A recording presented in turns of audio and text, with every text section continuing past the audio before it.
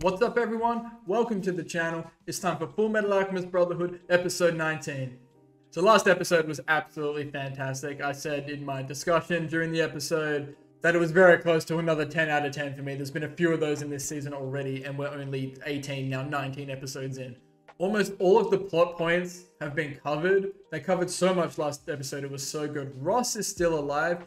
Ed and Armstrong met up with her after rendezvousing in Resembool with Lieutenant Breda. We got some really cool information about the ruins of Xerxes and, you know, this East Sage and this West Sage and how alchemy was brought into Amestris and alkahestry to Xing. Really cool information there. And then we found out just how much time and effort Roy has put into his whole ploy to find out who really killed Hughes it was just so good the way everything came together. You know, this Elizabeth person was actually a code name for Hawkeye, and she and Jean Havoc, as well as maybe some other people, went undercover as they're essentially doing this right under the military's nose as the military is trying to frame Ross for Hughes's murder. Roy is just in his bag with his ploys to figure out who is actually responsible. So he's lured out the chimera of lust, envy, and gluttony who was actually Barry the Chopper, 66's original body. And now we're right in the middle of that whole fight going down. They seem to have this Chimera pinned down, but Hawkeye has been attacked by Gluttony. And that was the cliffhanger that we were left with. I think that's only really the second cliffhanger. The only other one I can remember was in the fifth laboratory. So I imagine that's where we're going to pick up from in this episode. And I forgot to talk about this in my discussion last episode. But Ed found out that Winry's parents were not only the doctors that we knew of during the Ishvalan War, but they were also saving Ishvalan people. So Ed learned this from a bunch of Ishvalan people who were hiding out, I guess, in the Xerxes ruins.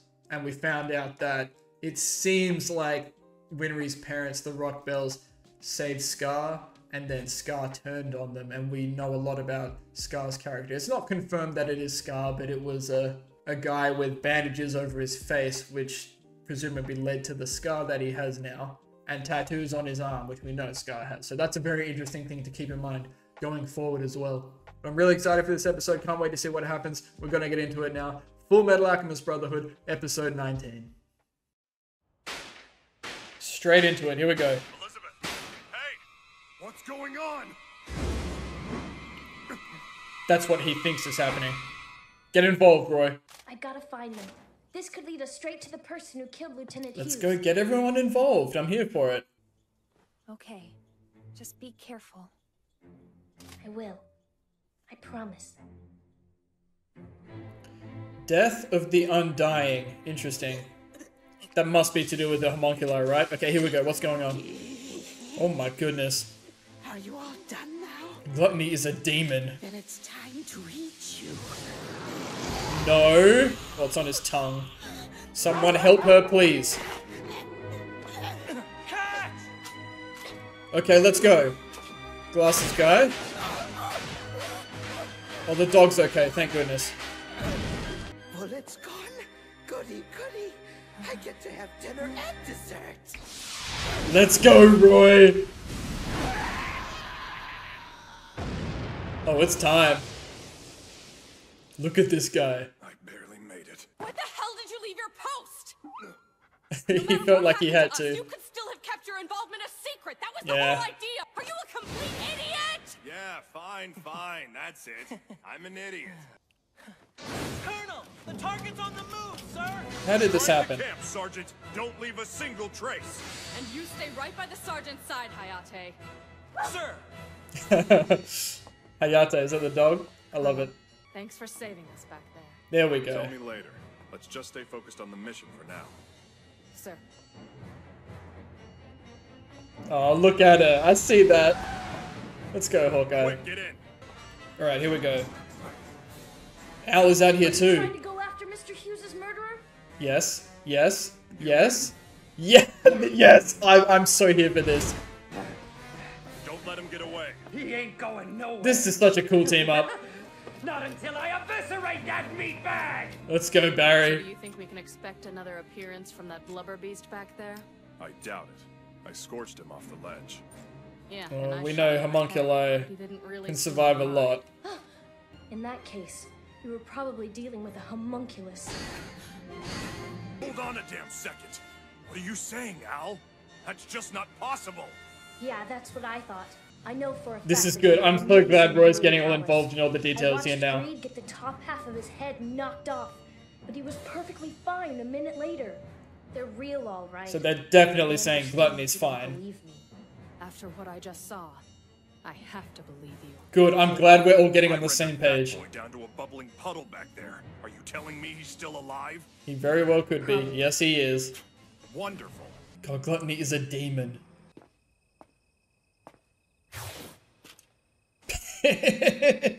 I love this squad.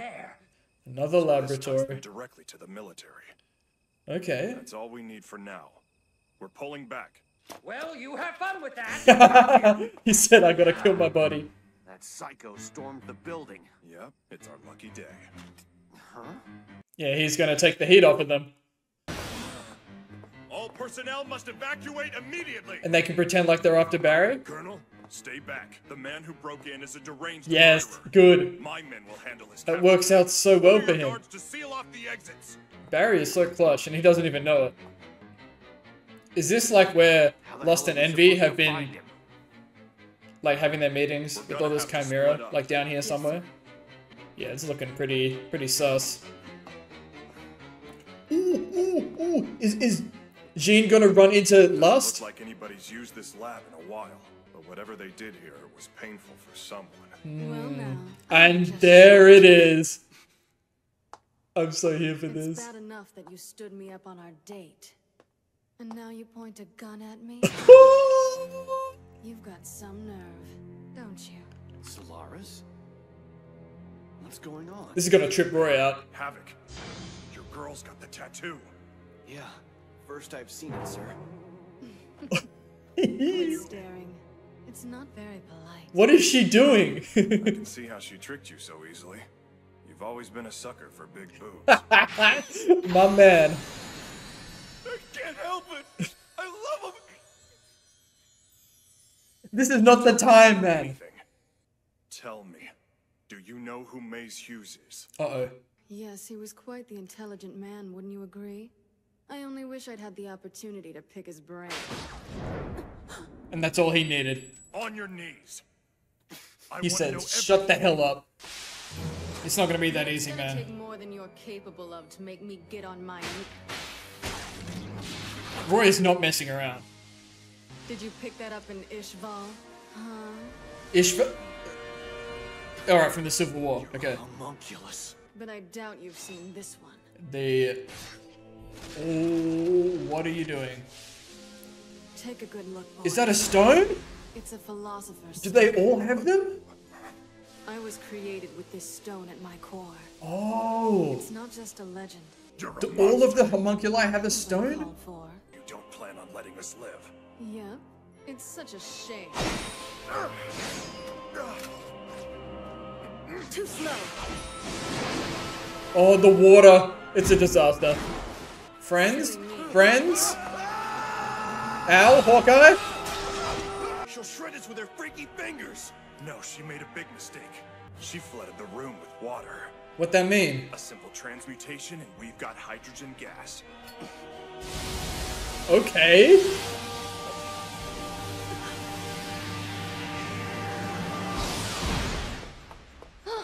Let's go. Oh, come on, man. This was a gift from one of my ex-girlfriends. Oh, you gotta let that shit go, man. You mind giving me a light here? With this alchemy. all right, you're all wet. Yeah, well, those things will kill you. You know that? True. She's dust. I definitely cremated her. No, there's no way You know Lost for is sure, sir. For all we know, she could still regenerate. So stay alert. Yes, sir. Oh, shit. No, no shot. No, not. Havoc! Damn, is he? Oh my god. Is he about to see another one of his friends get murdered? Ooh. Dude, she is taking a beating though. There's nothing you can do that'll kill me. Then you won't mind if I borrow this. Yes, sir. Is that the play? That's looking like it's doing something. Oh, I needed to save Havoc. Is she actually gone? No, there's no way. I don't know Wait. much about medicinal alchemy. Roy just has a Philosopher's Stone. My abilities. Well, that's not looking so good, man. Seems like you should buy a girl Ooh, dinner okay, okay. She just regenerates straight out of the stone. No shot! No. I refuse to believe any of this. Bradley? Oh no. It's a good time for us to have been introduced to alkahestry, right? Medicinal. I'll get him some backup. How good is it at dealing with stab wounds in the chest? No. I prefer to handle it on my That's own. big wrath. No, he's fine. He's fine. It's just through his side. Stone's my core. She just. Ooh, I don't like those noises. You were a prime candidate for sacrifice and all. But you forced me to kill you. Mm. Damn you. I want you to watch poor Jean bleed to death. Then you can die. You're a demon. Havoc! You can't die. Not yet. Not before I do. She's just leaving them to bleed out. That's her mistake. Um, th- I see the transmutation circle. Well, he actually did it? But you got here too late. God damn. This mess. My body is damn He really chopped up his own body. I guess a body just can't hold up with someone else's soul being shoved inside of it. Ooh. Oh. That's. The soul is incompatible with another person's body. Wouldn't it be the same for a soul bonded to a suit of armor? Oh. That's right. Oh. There's no guarantee I'll be able to stay in this form long enough to get Oh, all the body 66 playing with Al's mind again. This time he doesn't mean to, but. It's a similar theme. Interesting. I was wondering when you were gonna show up, Lusty. Lusty? 66. I've wanted to chop you up since I met you. It's bad enough to lose one. But now you're forcing me to kill a second candidate. Al as well? Hmm. That's enough of the casual chit chat, Lust. All I want to hear from you is screaming. Let's go. And it was that simple. Is he gone? Oh, Death of the Undying. It means 66. I do hate overconfident men. No! I liked him! I think I was about to send the lieutenant to join her superior. I'm pissed. Wait a minute. So when you said you'd already had to kill someone, Yeah, she's just realizing it's Roy. Or Lost is a villain villain. Ooh, tell him, Hawkeye! She got the other one on her. And she's just mad. This is doing nothing to Lust, but she's just mad. A third one! This is so tough. Are you done? So who's left? It's just Bradley, right?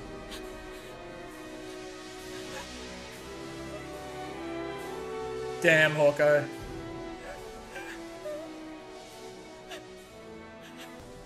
Tell she cares about Roy.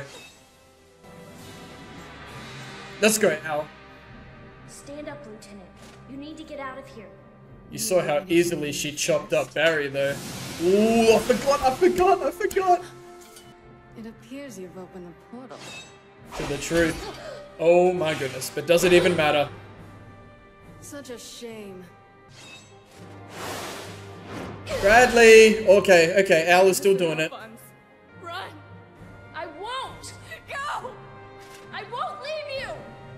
Let's go.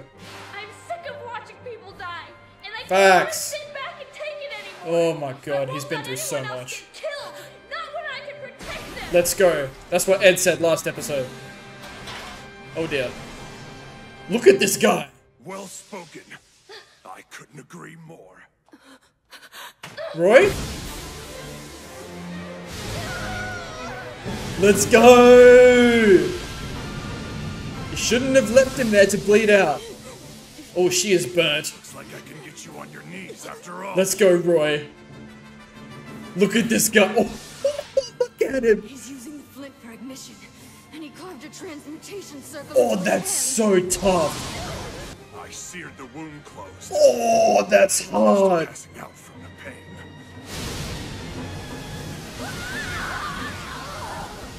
Holy shit. But I'd like to try and prove you wrong. Let's go, Roy. So let's see how many times. Oh, there's so many cool shots in this this episode. Oh my god, look at her. Burn that stone. Wait, are we? Is Lust really dying here? Oh my god. Dude, that scream is intense.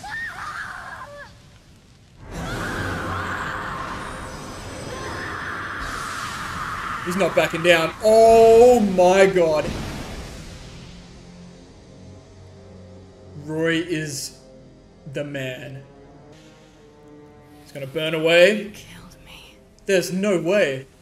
I hate losing. But there are worse ways to die than Lust is gone? Like you. I love how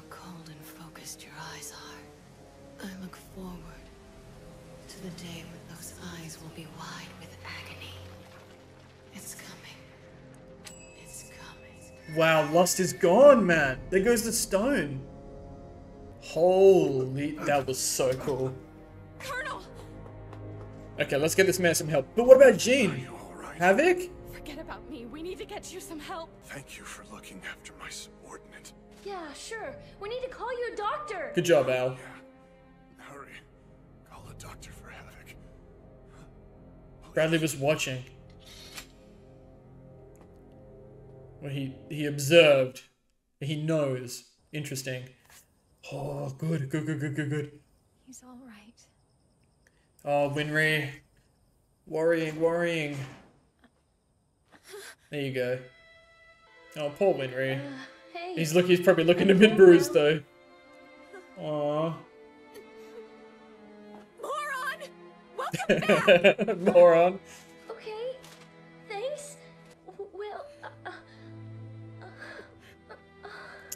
Aww. Not the laughing with the tears in her eyes, man. Oh, it won't stay.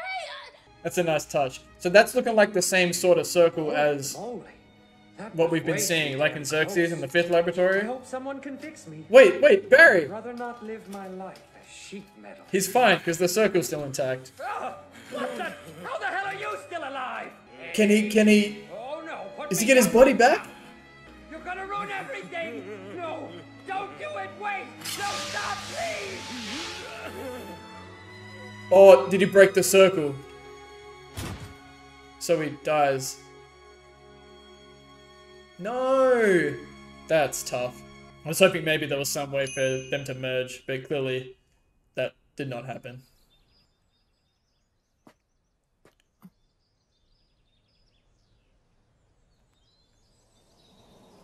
Um.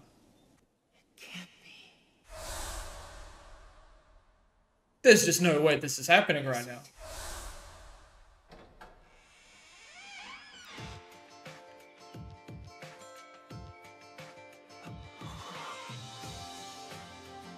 I have chills, man. Hohenheim. It's his death. I got like crazy ass chills then when that music kicked in. It's another cliffhanger. If this becomes a regular thing, I'm gonna start having problems. So instead of covering multiple plot points like we did last episode, we focus mainly on this whole this gang of people: the Roy, Hawkeye, Al, 66, Havoc, going after Lust. There's so many things to unpack here. Lust is gone. 66 is gone. I think Havoc is going to be fine from the sounds of things. Oh my goodness. So, so Lust has revealed at her core was a philosopher's stone. I'm assuming that is the same with all of the homunculi. She played around with Havoc and Roy, and she paid the price for it for not killing them up front. Roy came back, and man, I'm I'll talk about it straight away. That sequence was epic. He's carved a circle into his hand, seared his own wound shut, and is using Havoc's lighter as a way to like ignite his his flames and like use his his flame alchemy, I guess. Oh my god. But that was crazy. Like the way Lust was screaming was so real. Like I almost felt bad for her. Like Alphonse stepping in to save Hawkeye. I know I've jumped ahead for a few things. I just had to talk about that first of all because it was so cool. But Hawkeye going nuts hearing that Lust is potentially killing Roy was pretty raw. I felt that. You can tell how much she cares for Roy. And there was that moment earlier on as well after Roy saved Hawkeye from gluttony. After Hawkeye thanked her and she kind of looked at him and smiled. That was a very nice moment. Leading into this moment later on, the team up with Al getting involved, telling Hawkeye and Roy about the homunculus, the homunculi. Really good. I'm glad they're in the know about all of this now. And 66, Barry, he was such a sick character. A very sad way for him to go out, getting chopped up by lust, only to have like his his body, like his original body, be the thing that destroyed the circle that was binding his soul to the armor. So I'm pretty sure that means he's dead, right? I remember they spoke about that in the fifth laboratory. So rest in peace, Barry the Chopper. You were a very fun character. But I'm just still blown away by that whole Roy and Lust sequence. The the way it ended with Lust coming out once again and almost extending. I think it's like Ultimate Spear, I believe Greed called it. And it's like right here, it is about to hit Roy, and he was so badass. Like the whole way through, he's like, he's like, nah, I've got this. Like he's like, I'm not moving, I'm just doing my thing. So cool. Alphonse coming in with his with his alchemy again, putting up a wall to protect himself and Hawkeye while Roy just goes nuts, just toasting Lust. Oh, it was so good. It was so so good. But now we have Roy has uncovered what happened. It was Lust.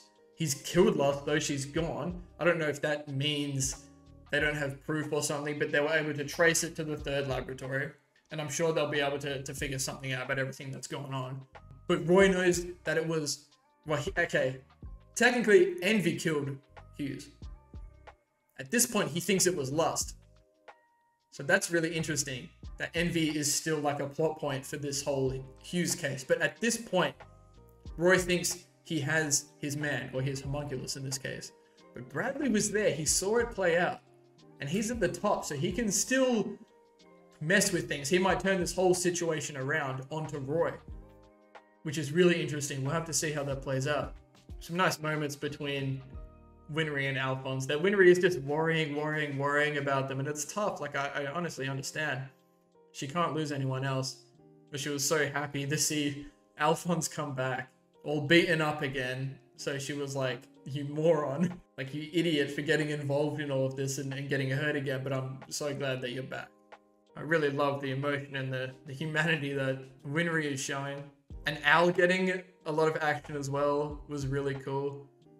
I did mention that although it was inadvertent, Barry66 did mention that I might mix the details up a little bit here, but I guess the new soul that was bound to Barry's old body was not a good match, right? And that's why Barry's body was decomposing. And then Al was like, oh, but what if that's the same for a soul in suit of armor? So my interpretation of that was, it, will the suit of armor not hold up? Will his soul not hold up? Something like that. But very interesting. I'll have to keep that in my mind, and I'm sure we'll come back to that at some point. But like I said, it was it, to me that's kind of a callback to the fifth laboratory where Barry planted these seeds in Al's mind about, oh, were you ever really real? Maybe Ed just made you but in this sense, he's actually talking about the truth. He, he's just talking about what he's seeing in front of him and is playing with Al's mind. So, really interesting kind of callback. At least to me, that's what it felt like. But what a cliffhanger at the end there. Like, that's Hohenheim. That's their father. And that, that is not the father, right? I've forgotten the name of the lady. I think it was Sean, maybe, the Ishvalan lady that was speaking to Ed about Winry's parents. She said, please deliver a message to Winry's parents' grave. And that's where I assume Ed was going to. And perhaps their own mother is there as well. And that's why Hohenheim is there. But that just came out of nowhere. We had almost a whole episode dedicated to this whole Roy and Lust situation. And then bang, here's Ed. Bang, here's Hohenheim. And Ed's having all these flashbacks to, to pictures of him. Like, this is the guy. So a crazy shakeup. Like I wonder like what this interaction is going to be. Like that really shakes things up. I don't really have like much to go off about what I think is going to happen. Is Ed going to be happy to see him? I don't think so. Like is he going to be mad that he ran out and like left them alone and then their mother died? Probably. Like, why is he showing up now of all times? Like, oh, it's just so interesting. And I'll touch on the, the episode title. I think I've missed out on doing that a lot throughout this show. But Death of the Undying, my first thought was, you know, a homunculus, right? You know, the Undying. Like I thought one of the homunculi was going to die. I thought maybe it might be Gluttony at the start, but I feel like Gluttony's gotten the least development out of like Lust, Envy, and himself. But no, it was Lust. Like we actually lost Lust. And when Father destroyed Greed a few episodes ago, I did ask the question, can he manifest them again? And I thought Lust was a really important character and a really good villain. So I'm shocked if she's just gone. She's out of the show for like, like she's just dead. But the same thing happened with Hughes. So, you know, this show has already done that. Like Hughes was very important and gone. 10 episodes in, gone. Lust, you know, nine episodes later, Lust is gone as well. So if we never see Lust again, that's crazy. But we still have Envy, we still have Wrath, Bradley running around. Sloth, we've barely even been introduced yet, and there's still Pride running around somewhere, which is really interesting as well. But the Death of the Undying, it wasn't just Lust, it was Barry 66 as well, which I am pretty sad about. He really grew on me. He was he was becoming a you know, a bit of a, a bit of a favorite. He he served his purpose. Like he was he was who he was. He was still a little bit of a freak. But I think that's going to do it for this one. Like the last two episodes have been so good. I think maybe it's time to take a step back again and focus more on building up more story. You know, Roy thinks he has his person in Lust as the murderer of Hughes, but Bradley was there. What's that going to mean for the rest of the case and everything else moving forward? Ed is about to meet Hohenheim, his father, like the father. Like, what's going to happen there? And Scar, presumably, is still on his way with May and Yoki to Central. So, still lots of things that can happen. Really excited to see what's going to happen moving forward. But that's going to do it for this one. Thank you all so much for watching. As always, please feel free to leave your comments and feedback. I always appreciate it. And we'll see you in the next episode of Full Metal Alchemist Brotherhood.